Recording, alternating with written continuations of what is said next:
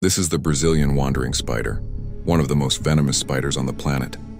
And its bite, not just painful, it causes paralysis, skyrocketing heart rates, and in men, a very awkward and very long-lasting side effect. We're talking hours of unwanted excitement. Yep, doctors even studied the venom as a potential treatment for bedroom issues.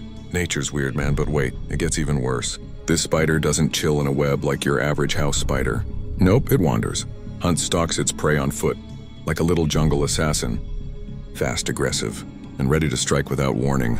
And get this, it's often found in banana shipments. That's why it's nicknamed the banana spider.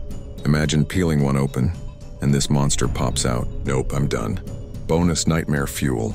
Its venom can trigger full-body paralysis and even heart attacks. It holds the Guinness World Record as the most venomous spider on Earth. So yeah, if you see one, don't play tough, play dead. Drop me in the comments if this gave you the chills. Like, subscribe, and follow for more nightmare fuel straight from nature.